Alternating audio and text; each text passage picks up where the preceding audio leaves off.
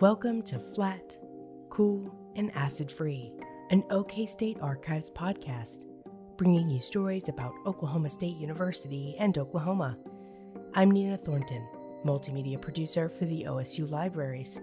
On this episode, David Peters and I recreate the sightseeing tour of 1965.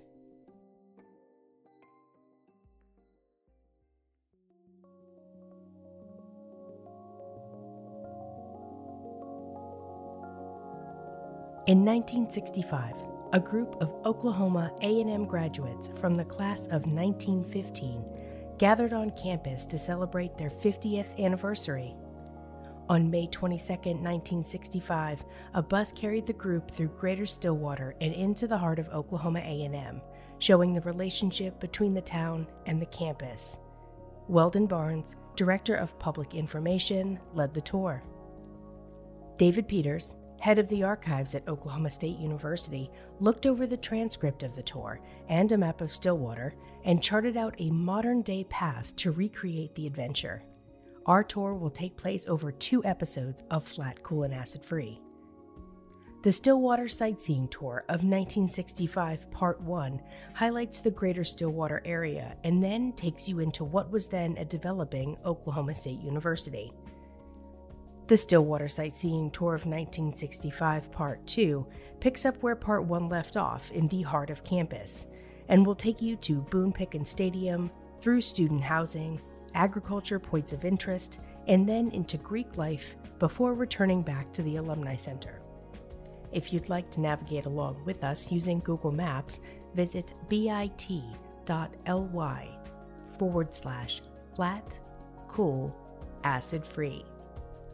If you're driving along this route with us today, I will share that it will be helpful to have a navigator with you to help pause the audio should you get a bit ahead or behind.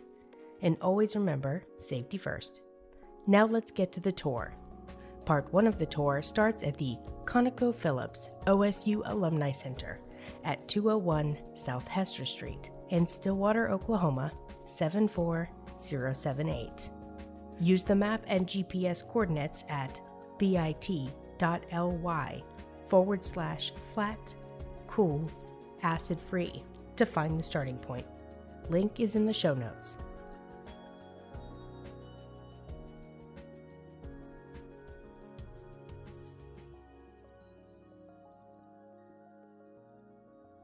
All right, we are here for Flat, Cool, and Acid Free, and we are currently sitting in the ConocoPhillips OSU Alumni Center parking lot. And this is where we're going to start our tour.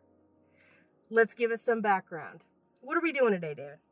So, originally in 1965, Weldon Barnes gave a tour for the 1915 graduates. So, this was 50 years after they graduated. He's taking them on a tour, uh, showing them places uh, that they hopefully will remember and then showing what's there now uh, and newer establishments that have gone in since they've uh, since they've left 50 years ago. Uh, Stillwater has changed quite a bit, and so part of it is a promotional tour of Stillwater, uh, but then a lot of it is just to have them see the growth and development uh, of Stillwater uh, in compared to what they remembered from when they were here 50 years earlier. So we are looking at a tour for a class from 1915, and they are in the tour in 1965, and then we are in the tour in 2021. So many layers. yes. And what we're going to try to do is both describe what the tour would have been like as they remembered the areas in 1915, what they were seeing in 1965, and then maybe give a little update to what we're seeing today. Though we are trying to follow the initial part of the tour fairly closely to what they did in 1965. After about the middle of the tour, what they saw in 65, we're going to make some modifications to it um, because it's just uh, a little unrealistic today to, to take the whole extent of the tour. But we can have maps for both the original tour and the tour that we're taking today to show them um, what we're seeing. So again, we are starting. If you are in the ConocoPhillips OSU Alumni Center parking lot, you're in the right place. We are facing the McKnight Center Performing Arts. Um, and we are on the corner of University and Hester. Perfect. Right. Now we're starting slightly different than they started. They started close to here, but they started at what was the Student Union parking lot. Um, this was, I think, right before the student Union parking garage went up. So, you know, they were right here by Bennett Chapel, and they were just on the other side of Bennett Chapel when they started their tour. So we are taking a right on University, passing the McKnight Center on the left. And in 65, they would have seen some fraternities along here, um, but they were removed uh, later on. Um, and uh, Weldon Barnes really didn't talk much about university, at least on this trip through. As you notice, several times we will pass through similar neighborhoods, and we're going to take a left going south onto Washington Street. So, for the graduates of 1915, the area south of campus was on Washington Street were simply residences. There were a few houses uh, within the next three blocks uh, before we get to 6th Street. Um, and that's all they would have remembered. Uh, just a few homes that would have been located along uh, this section of Washington. By 1965, the Alpha Gamma Rho Fraternity House uh, was built. Uh, there were several restaurants, the patio restaurant. There was Osborne Studio and Camera Shop along here. Uh, there was a Ruthie's uh, Designs for clothes. Uh, there were three barber shops within this within this block by 65. Uh, there were a number of insurance agencies. Uh, there was also the Coachman Restaurant and Rogers Bakery, uh, Dewey's Pizza Parlor. there was a drugstore and Colonial Florist. John Patton had his dentist office here. there was the Varsity, the Corner, and the RJ Cleaner, so three cleaning establishments. There was Dooley's Cafe, Carp's Bowling Alley. There was a shoe shop, Audio Sounds, uh, Aggie Barbecue, and then on the corner of 6th in Washington was Simac Frozen Foods. We're going to take a left here going east on uh, 6th Street. Perfect. Between 1950 and 1965, as Washington Street became, uh, actually began becoming the strip, okay. Uh, with businesses being filled along the strip. Now in 65, at this corner of, of 6th and uh, Washington Street, they would have seen the Humpty Dumpty grocery store.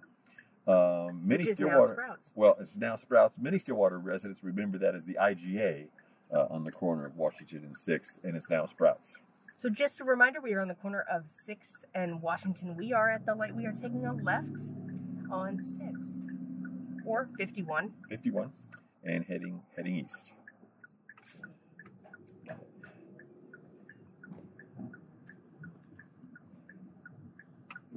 So now we're looking for Husband Street. So we've got a little stretch here. Okay. Um, Weldon Barnes was talking about how city was Stillwater was a city of churches, and so he's he was pointing out um, up ahead here the Roman Catholic Church, uh, St. Francis, uh, and there was a school associated with it. Uh, there was also the Mormon Church, the Church of Jesus Christ of Latter Day Saints. Uh, that building is now a part of the Methodist uh, Church. It's part of the Methodist Student Center.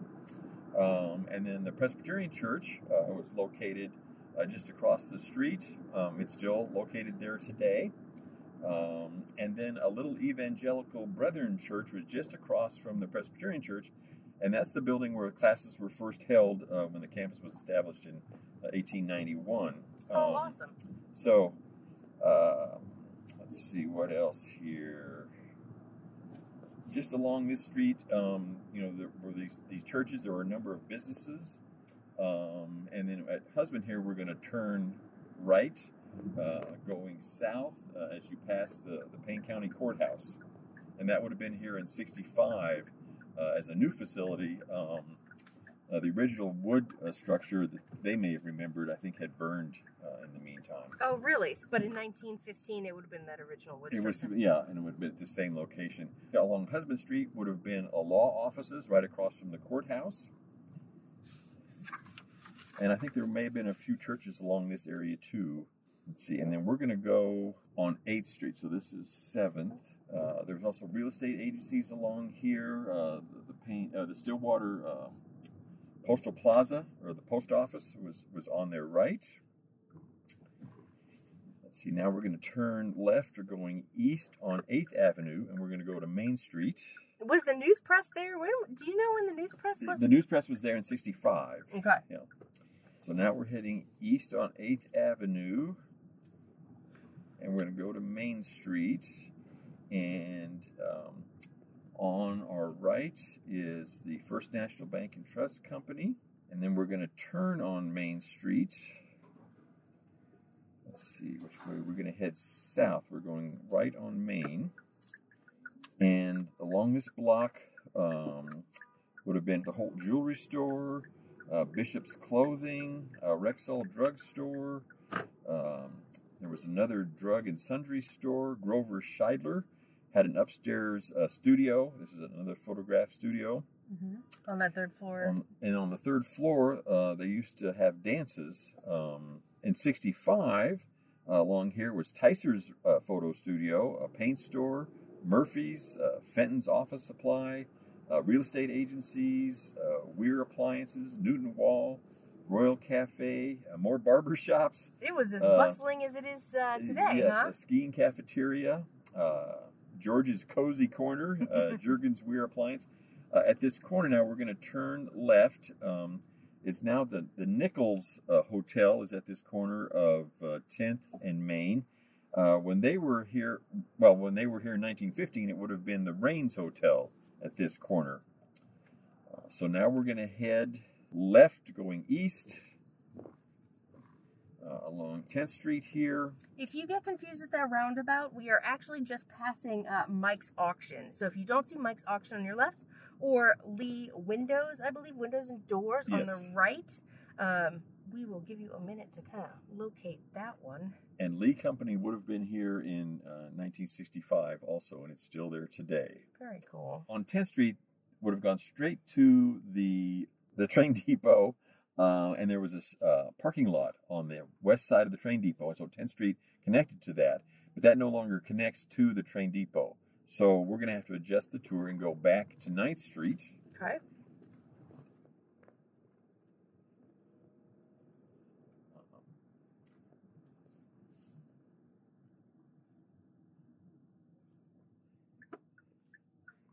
And with tiny paws on your right, we're going to turn right on 9th Street. So this section of 9th Street is the last section of Stillwater with brick, uh, a brick street.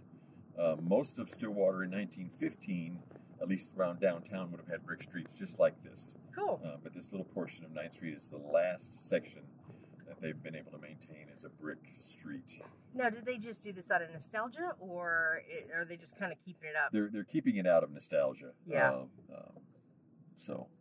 Okay, we're going to pull over here. So, it is the Kappa Kappa Psi and Tau Beta Sigma national headquarters, but it used to be. David, tell us a little bit about this. So it was the Stillwater Train Depot, and so this is where most students, uh, especially the students who graduated in 15, would have come to campus uh, arriving at the Stillwater train station, uh, and then they would have taken various uh, livery or, or kind of their version of taxi services to get to campus. Uh, and so they could they could arrive at the train depot. Actually, these livery services would just wait here and see if any students or anyone was arriving, no matter where they were going, and then would take them to the main part of campus, which is actually quite a little little jog from here. So it was a Stillwater train depot. Uh, by 1965, there wasn't any uh, train passenger traffic anymore. It was a freight depot, so they were still stopping here, um, but there wasn't any passengers uh, on board. And so in 1915, though, uh, some students even walked from here all the way to campus. Holy uh, moly! Uh, so you know they, they didn't think much of, of, walking that far. I guess it depended on how much luggage you were carrying. Right. Uh, so if you just arrived for the beginning of the semester, you probably had trunks with you. You probably waited for the livery service. Um, but if you just gone gone away for the weekend or something and come back, then you probably just walked or took fantastic taxi. So now, when did they buy this? The national head, the fraternity headquarters. It's been at least 15, 20 years ago that okay. it's now been serving as the Kappa Kappa Psi Tau Beta Sigma uh, national headquarters. Uh, and they, what was it, a year or two ago? They had a, well, it must have been two years ago, established 1919. So they had their 100th anniversary um, okay. of Kappa Kappa Psi. Uh, now, do they do tours of this at all, or it's closed off to the public? I think they're. If you contact them, if you call them beforehand, um, I think I, have heard that they're they're. You know, if, if it's possible, they'll mm-hmm. have people. They'll allow people to come in and kind of look around a little bit. That's fantastic. Um, so, um, and for a while there, before it was uh, the headquarters for Kappa Kappa Psi, uh, it was they tried to make it a restaurant for a while. I'm not sure why why it didn't work, but um, it was a restaurant temporarily. Cool uh, and now it's now uh, national headquarters for Kappa Kappa Psi Tau Beta Sigma. Perfect. So, so, if you are just catching up, we are at the old Stillwater Train Depot. Um, and we are getting ready to take off again. Just a little bit of a stop. I might mention two of the livery services from 1915 were Al Shively's uh, bus uh, that had seats around the outside uh, of his uh, kind of carriage, and then there was Myers livery uh, stable um, that also carried people to campus, or people would walk. So now we're back on 9th Street, and we've turned left going west, and we're heading back to Main Street. Um, so we're, on the brick brick walk here for a little bit.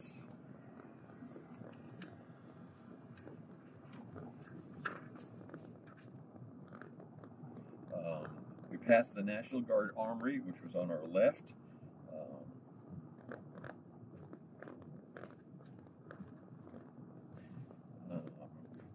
and now we arrived at, at, Lewis Avenue. We're still going to keep going uh, west, um, but uh, there was a opera house, uh, kind of where the antique mall is now. Uh, there was a fire station uh, near this corner that they would remember from 1915. By 1965, it, would, it had been moved.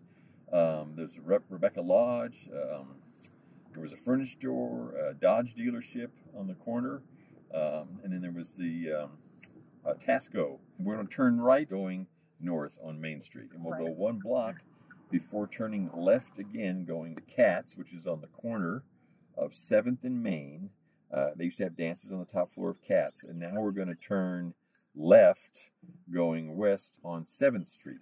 Would that have been where Granny's was is now? Yes, it's where okay. Granny's is now. Um, and then along here was the Milam Hotel, uh, which housed college men in 1965.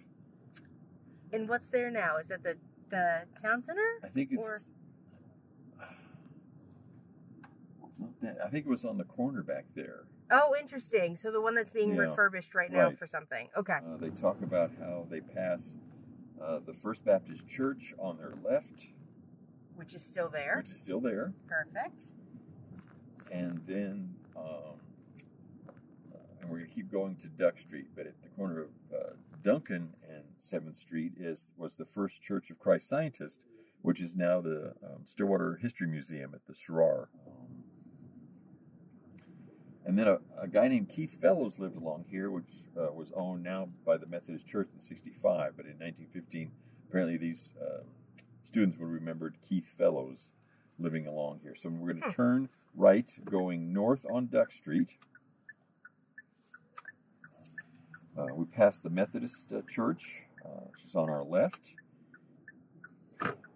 And then Dot Painter uh, in 1950 would have had a house along here, and I guess apparently they would have known Dot. It was a smaller Painter. class back then. It was. It was a smaller class. So now we're heading uh, north on Duck Street. And we are on the corner of Duck and 6th, if you are following along. And we're heading to 3rd Avenue. So today we have the Payne County Courthouse addition uh, on our right. Presbyterian Church is still here at this corner. Uh, there's a gas station uh, on, this, on the northwest corner.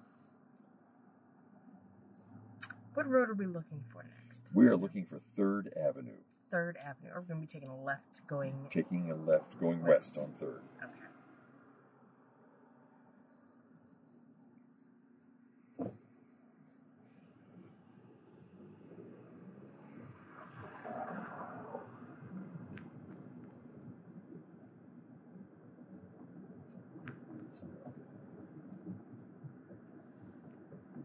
Now, most of this on Duck Street would have been residential, even in 1965. A few apartments, but mostly residential along here.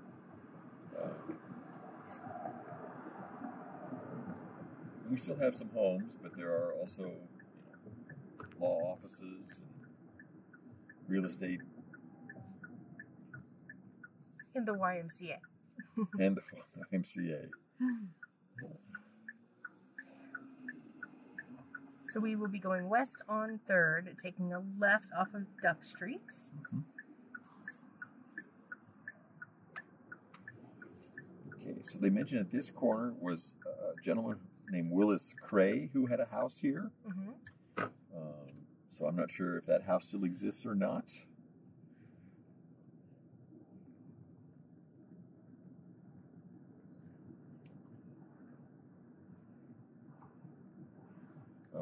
In the 1915 tour, uh, they mention uh, the St. Andrew's Episcopal Church, which is still there. It's on, on our right. And in 65, the Hideaway would have been across the street on our left. It's now a coffee house, I think operated by the University Heights Church. Uh, there also would have been a barber shop and a laundry. Now we're going to turn right on Knobloch and head north towards the fire station. And if we can stop here for just a brief moment. Sure. We are going to pull over. So we are facing the Stillwater Fire Department. We're just going to pull over in one of these parking spaces. So for the tour in 65, they would have mentioned uh, to the students how from 1915, this is where they would have gotten their first really view of the main campus area. Uh, and so in 1915, there was a gateway that entered where the fire station is now. There was a big gate there uh, and a drive, and it was a circular drive that then went circled past Old Central. Um, on the on the to our right here, um, in 1915, there was just a wood frame building uh, that had uh, kind of a little restaurant in it, uh, operated by the Peck brothers. By 1965, actually in the 1920s, the Peck brothers, there were three of them, built the Peck's Lodge, which is still there today. Um, along uh, the Iron Gate, um, then there was a hedge of tamarack and honeysuckle. Um, and then at the fire station, which is there, was there in 65, uh, they talked about how it was a uh, united effort between the city, the college, uh, and the state and federal government. So they got funding from all four uh, to develop a, a, fire station at the corner, and that's uh, we began our um, fire training program. Started at this fire station. Um, we'd had a number of fires uh, in 1914, 1915 when this class was graduating. Um, and so they would have been aware of the importance for fire training. And so that's why the fire training was established on campus at this corner. Now, those fires of 1914, how quickly did they rebuild? Would the 1915 class, would they have seen those buildings at its, at their worst? They would have seen them at their worst. Uh, okay. Uh, it took them a year or more to get everything back in order. So both Morrill Hall was completely gutted by fire, uh, and then the Bartlett Center, uh, we call it the Bartlett Center now, but it was uh, domestic science. Um, it's where the with women's residence hall. It also took a, about a year to, to be reestablished. There, the, the bottom two floors were mainly intact. The third floor had significant damage. The fourth floor was virtually gone. And so it took a while to, to get the funding then to rebuild them. But in 1965, they certainly would have been there. They would have been back uh, up and running. Yep. And if you want to learn more about the fires of 1914, there is a video on YouTube. Go check that out. We'll put a link in the description. So along here, uh, this little section of Knobloch had now, uh, well, by, in, in, 1915, it had begun to be a little business district, uh, like the Peck Brothers on the corner. Um, but along here at 65 would have been Smith's bookstore, a college grocery and market. Uh, Bates Brother was a clothing store. Nina's was a clothing store. Uh, TG&Y uh, grocery store was along here.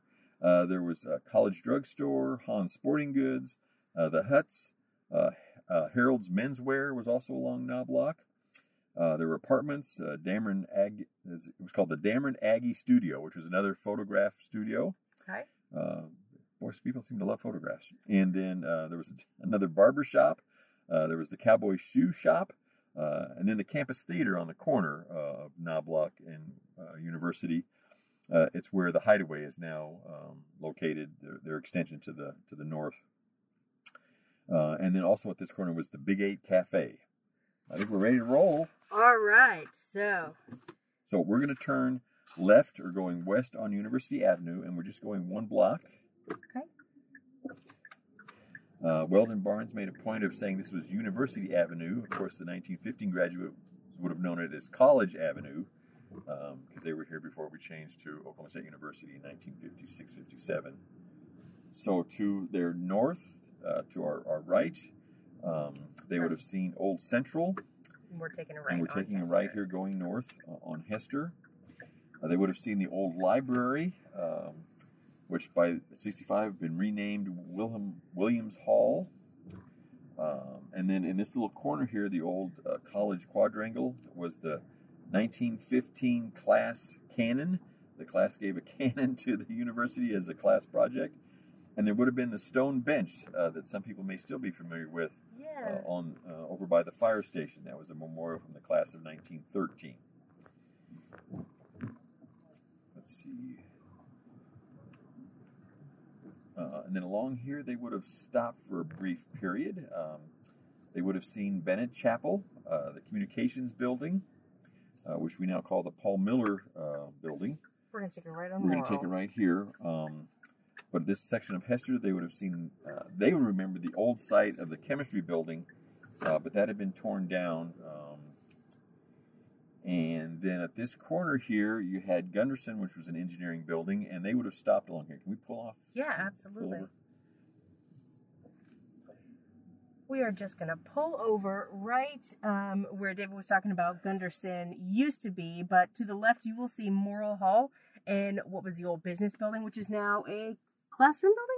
Alan? Well, but even in '65, they wouldn't have seen that building. This, Oh, this- so this is why they stopped here. Is is Dean Swearingen, who was the dean of business, talks to them about the new business building which is going on this corner. So Gundersen is still here, the old engineering building.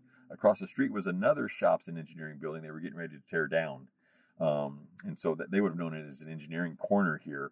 Uh, the power station, which used to be where Gundersen is, moved in 1911, 1912. So when they first got here as freshmen, the power station moved from where Gundersen is now and was in, in 65 to across the street to where the classroom building is.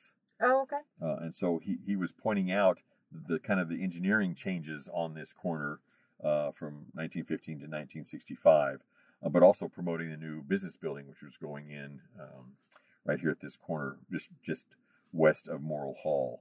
Uh, but the other part of this little quadrangle um, would have stayed much the same. Morrill Hall was still here. Uh, the women's dormitory, or now Bartlett Center, was here. The old auditorium uh, was here. It's before the Seretean Center was was refashioned around it. Um, you know, Old Central was here. Uh, there was the, the, the, second library building uh, was still located, uh, kind of where the ConocoPhillips is now. Um, so, um, and with the with the old library or Williams Hall uh, being down at this at that corner just north of where the fire station is, this area would have been very familiar to them, um, even in 1965 from their experiences in 1915. So the business building has had quite a few changes. Yes, yes. And at the time in 1965, business was occupying Morrill Hall.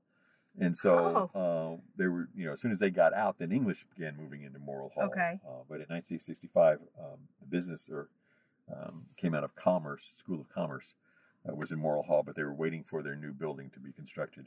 And it was completed uh, within a few years after this. And we are on our way, so, So, we are yeah, starting to Morrill Hall, Um, they also would have looked back to to their um, would have been their left uh, to the west. There was an old barn uh, which was located roughly where the parking lot is between uh, Whitehurst uh, and Willard Hall. Uh, they would have seen uh, Whitehurst Hall uh, looking back to the west, uh, where the administration uh, was now. Um, in in 1915, uh, the administration was located in Morrill Hall. So Okay, we we're gonna- on the corner of Knobloch and University. Yes. So we're going to turn right.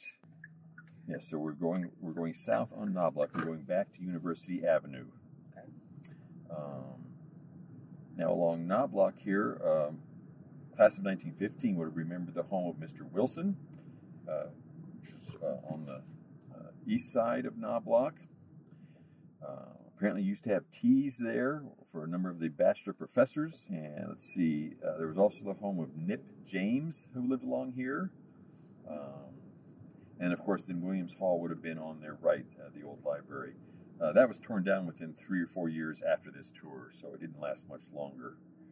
Okay, now we're going to turn right going west on University Avenue, and we're going to go all the way down to Monroe Street. On um, their left, uh, they would have seen uh, Dr. Gundersen's old home uh, in the alley behind the movie house. Uh, and then they referred to this section of university now in 1965 as Fraternity Row. And this is Hester and University, right where the McKnight Center is. Yes, uh-huh. Interesting. Okay, so Fraternity Row started around here. started here. Okay. So Delta Chi would have had their house along here. This is be on the, on the south side of University Avenue. Theta Chi had their house here. Uh, and then the Methodist Student Center, which has been, uh, uh, well, they have a whole new building, but it's located at the same uh, location at the corner of University and Washington Street. uh, would have been on their left. Uh, and then across the street from that uh, is the Sigma Nu House, which is still located there today. Um, they stopped here to look at the formal gardens. Looking north would have been your, your first view of the fabulous Edmon Low Library. The Edmon Low Library. Yeah. Look at that. So, um, let's see, behind Sigma Nu was uh, Fritz Redlich's house. Oh. Uh, Fritz was a part of the architecture uh, department. He was one of the faculty members there. Uh, the Lambda Chi Alpha House, the Zeta Tau Alpha House, which is still located where it is today. And then at the corner here, uh, which is now a uh, fraternity, uh, used to be the Baptist Student Center. Now we're going to turn right going north on Monroe Street. So across the street um, on Monroe uh, would be the southwest corner was the Sigma Chi House, and it's still the Sigma Chi House today. So now, now we're entering the main portion of campus that you can kind of drive through. Okay. And most of this would have been new to them. In, in 1915, most of this area out here, outside of Theta Pond, were pastures and, and, and crop uh, production areas. Um, and so all the development that would have occurred in the 50 years to them would be brand new. They would, you know, this was all West Agricultural Campus. So this is about to blow their minds. Well, yeah, they haven't been back to campus in 50 years. Yes. Okay. Um, and that's another thing that, that uh, Weldon Barnes is is uh, trying to impress upon them the dramatic changes uh, on campus. So now, you know, when they were here in 1915, there was two residence halls, and now there's a there's just a whole series of them um, on their left. Uh, it's now the School of Social Sciences uh, and Humanities, I believe, but that's um, uh, there was a major residence hall, uh, and then the north wing to that. Uh, on their right would have been Willard Hall, which was a women's dormitory. Um, then back behind that would have been Whitehurst, which is still there today. the college infirmary, which is on our left. Um, it was the first building on campus with uh, an elevator. Uh, and then behind that, they talked about the two new um, dormitories. Uh, it was part of the Scott Parker Wentz complex. They were under construction, so it was it wasn't it was only about two or three floors high at this time. Oh, interesting. Uh, okay. Uh, so they were still that was still under construction. Uh, and they were still in the planning stages for, and we're going to want to turn uh, right going back east on Athletic Avenue. Okay. Um, but on their left would have been uh, the new home home economics uh, building that had two wings, and even in 1965, they were talking about how they were going to add a third wing. Well, that was just added within the last, you know, 10 years now, and so that wing took almost 50 years to be added. But they but, still knew it was going to happen. But they knew it was going to be added uh, okay. in 1965. So we are approaching a small parking lot, and we are going to stop here for a moment, correct? That's correct. Perfect. So, so pull over by yeah. physical sciences will probably be the easiest place uh, to pull over in this little fire lane. And let's chat. So, what do we see here? So, in 1965, Athletic Avenue would have gone straight through here. So, they would have gone all the way past. The library would have been on their right. Uh, physical sciences would have been on their left. And then, if they continued past the library, there would have been a small cafeteria. There would have been the police uh, station, which was a kind of a cinder block building. Uh, there would have been engineering uh, north, engineering south, there would have been industrial engineering. Um, so there was this is where the engineering complex had kind of moved to uh, by 1965. But Athletic Avenue used to go straight through here, uh, and that wasn't closed until I think in the 70s. Uh, so in 65, they still would have been able to go through. Um, but all of this would have been new to them. Um, uh, all of these, all of these, you know, four or five story buildings with classrooms and, and laboratories and the library would have all been uh, new and different for them. Um, and so it would have been quite a dramatic change um, uh, based on what their experience was. Because this all would have been fields and pastures when they were students. That's insane. Um, so, who was implementing all of this change at that time? So, by 65, uh, Oliver Willham is our president. Um, and what he really did is he inherited both the campus and the master plan that Bennett had devised in 1928. Uh, Bennett and Phil Wilbur had worked together on the master plan. Um, Bennett, of course, dies in 51. Um, Willham is named in the, the next president, and he really kind of finishes the plan um, and, and begins to make modifications to it. By 65, though, his his uh, reign is about to end. Uh, he steps down within a year, and we have a new president. So this is about the end of the Willham period. Interesting.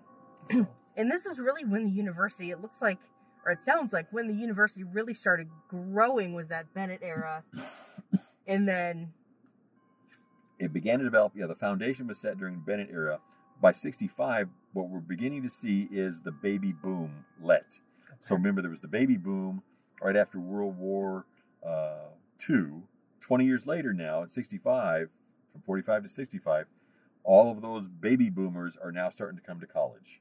And so that's why there's a dramatic expansion on campus, not only of uh, classrooms, laboratories, offices, but residence halls and a number of different styles of residence hall. You know, in the past, it was assumed that students would be 18 to 20 year olds. Now we've got married students. We've got we've got a larger number of undergraduates that are of that age group, uh, 18 to 20, uh, but they've they've got more variety for residence halls on campus. In the old days, you just had residence halls for singles. That's why they're going to talk about residence halls a little bit more later on in the tour.